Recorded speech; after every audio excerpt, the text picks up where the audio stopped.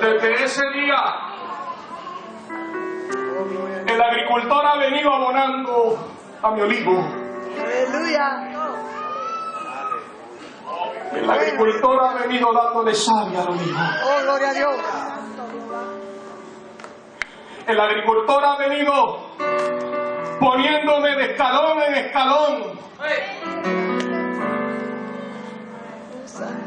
Porque hay muchos que quieren crecer como la espuma, gloria a Dios. Pero luego los vemos así mismo. Muchos me dicen, tienes 30 años y todavía no estás pastoreando. Tienes 30 años y todavía no estás en el ministerio de lleno. Y yo le digo, sigue tú. Que yo voy como la tortuga, lento pero seguro.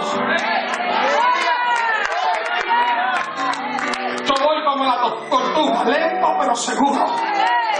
Después que el agricultor esté trabajando en terreno, después que el agricultor tome las tijeras y comience a podarme.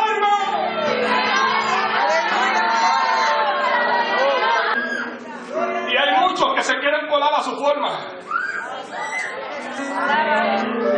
Bendito Dios. Y cuando el agricultor empieza a colar, ¡ay, como duele! Y cuando tú le permites, porque es que el agricultor es caballeroso. Marilyn, el agricultor es caballeroso. Y comienza a colarte poco a poco. Gloria, aleluya. Y le comienza a dar forma a ti. Y tú comienzas a ver que cuando tú mandabas a colar a otro, te recortaba mal. Pero cuando el agricultor de agricultores te empezó a recortar, qué cosa linda. Qué cosa linda. Comenzó a darte forma. Forma. Forma. Qué lindo cuando el agricultor comienza a colarnos y nos da la forma que tanto nosotros quizás no entendemos el por qué nos cola de esa forma. Porque hay mucha gente contendiendo con el Señor. Hay mucha gente que no entiende por qué el Señor le da esa forma. Y se pasan peleando con Dios. Deja que el agricultor lo haga su forma porque es la mejor forma. Deja que el agricultor lo haga de esa forma porque es la mejor forma.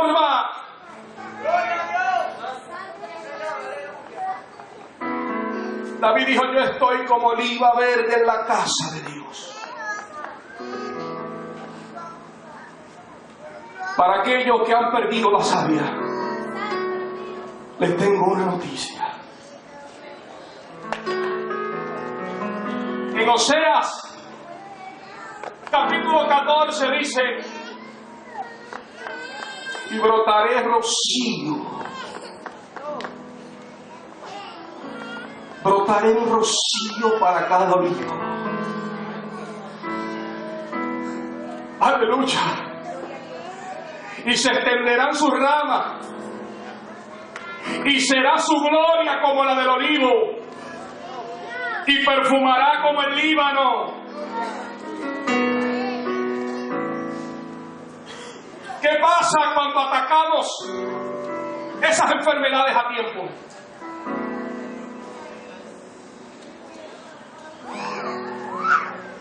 El árbol comienza a crecer a echar flores. Pero hay algo que pasa en el invierno con la savia en el árbol. Y es que la savia detiene su circulación sobre el árbol en invierno. Pero en primavera, tú rápido notas que llegó la primavera, ¿por qué? Porque es cuando la savia trabaja más rápido. El que ha vivido en Estados Unidos, ¿cuánto ha vivido en Estados Unidos? ¿Qué tú ves en primavera que te hace ver que estás en primavera? ¿Tú sabes que en invierno qué pasa? La savia deja de, se detiene porque se caen las hojas. Y tú ves los árboles secos. Pero cuando llega la primavera, tú rápido lo identificas. Porque de la misma forma que se detiene en invierno, es cuando en primavera trabaja más rápido la savia y florece. Y esas flores y esas hojas hermosas. Yo he visto árboles de colores violeta, rosa, aleluya, de diferentes colores en los Estados Unidos. Cuando llega la primavera, y en una ocasión le dije, oye mami, llegó la primavera. Mira qué árbol tan hermoso. Aleluya, un color violeta, algo hermoso. Porque llegó la primavera. A veces el árbol de oliva tiene que pasar por el invierno, pero no te preocupes, que se acerca la primavera.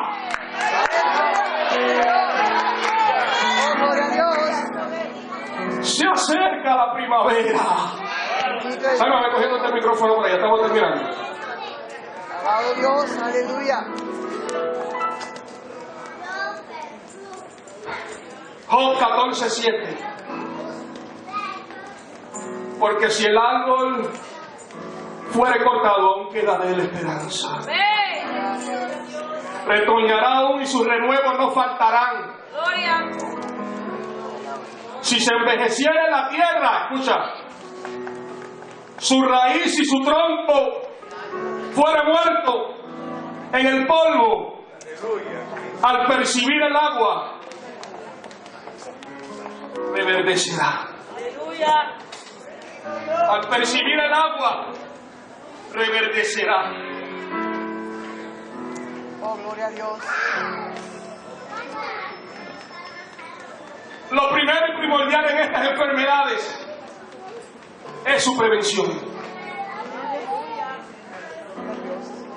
Más que su tratamiento. También hay que tener en cuenta que todas las enfermedades que puede tener el olivo afecta en la calidad del aceite de oliva que se realice posteriormente, disminuyendo su calidad.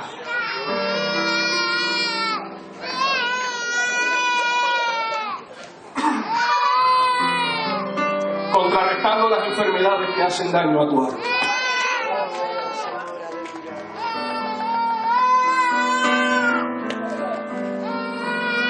Yo no sé si hoy tú has identificado con alguna enfermedad.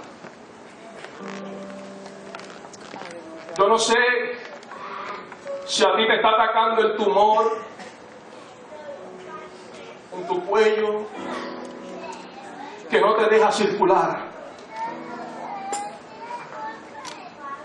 Y tú me preguntas, ¿por qué yo no tengo ninguna enfermedad? ¿Y por qué no hay frutos?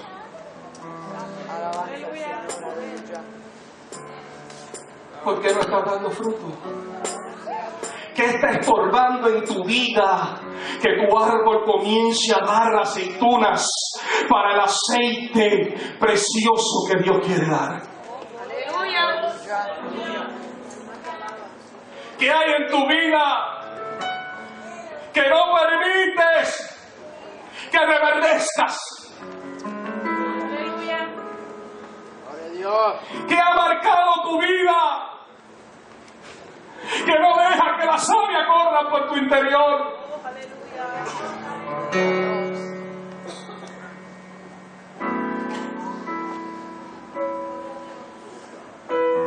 Es que tú no sabes las luchas que yo he tenido. Es que tú no sabes las guerras que yo he tenido. Es que yo trato de levantarme y no puedo. Es que quiero venir a la iglesia y se me hace, tengo tantas cosas que no puedo ir a la iglesia.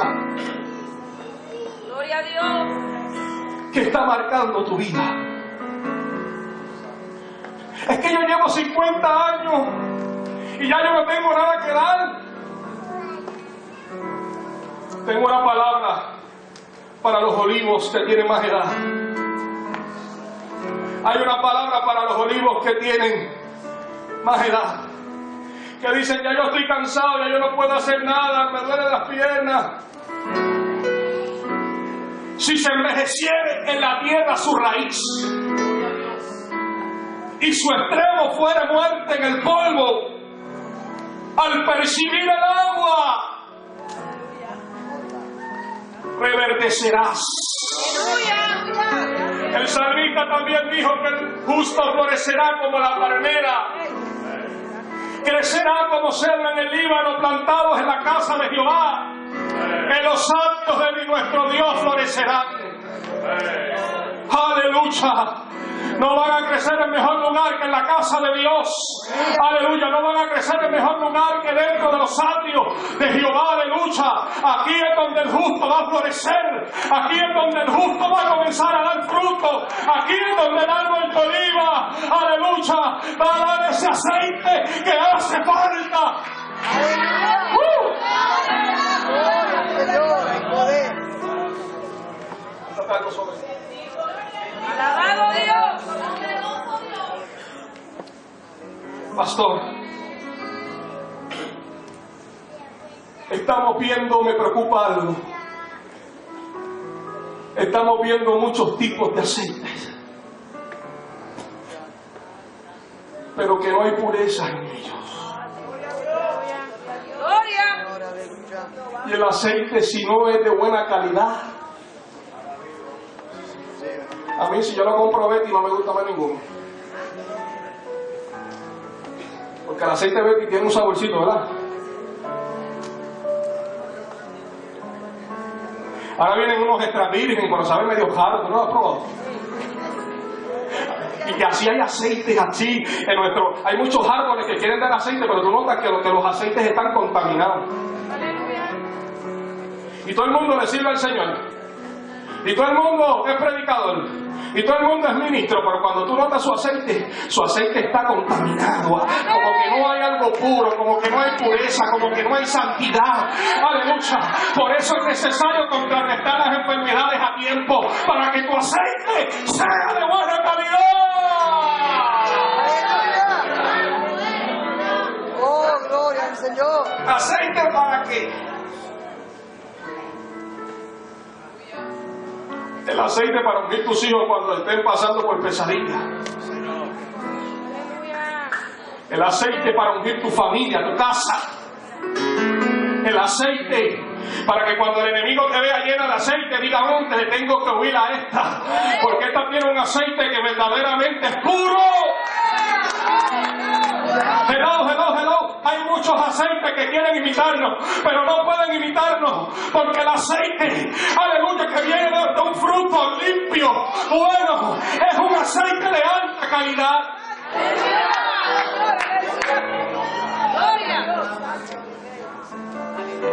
Hay gente que tiene que velar que venga el evangelista futriaco y le dejame la botella de aceite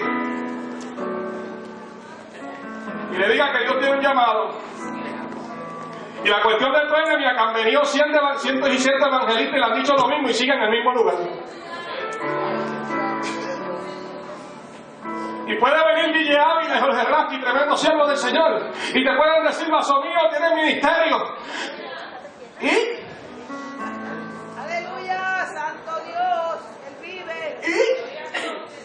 Y te vas al monte a buscar profecía. Y te vas allá a buscar profecía. Chicos, si ya tú sabes lo que Dios quiere contigo, deja de estar buscando profecía y comienza a caminar. Cuando Jesús le dijo a los discípulos, pasen al otro lado, ¿verdad? Tú sabes que se levantó una tempestad en el medio del mar. Alabado Dios. Me cantan dando sobre hermano. Santo y poder. Y me da gracia porque habían 12 discípulos en la barca. Y cuando vieron el fantasma de Elisa, todos asustaron.